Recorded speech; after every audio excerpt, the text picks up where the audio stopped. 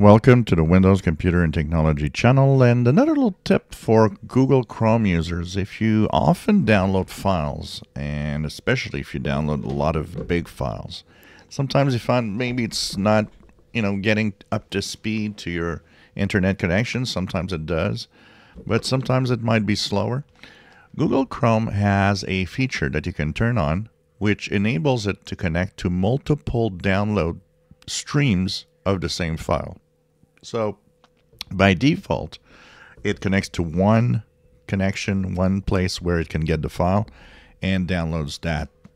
But sometimes that file is available in multiple sources, multiple different places. So what it does, it will connect to all the known places it has and download it at multiple different places so that the download speed reaches the maximum speed that you can on your internet connection. So, if particularly useful if you download some really big files. So, go to your Chrome browser.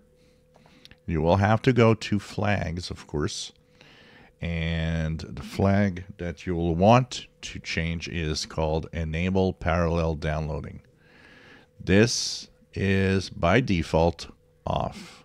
It enables only one streaming download. So if the website or the server where you're connecting to get the file is really fast, it's not a problem. You'll get your file really fast.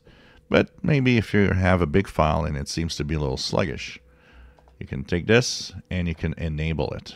After relaunch, this will be enabled. You'll be downloading files when possible with multiple sources. It might not work with everything.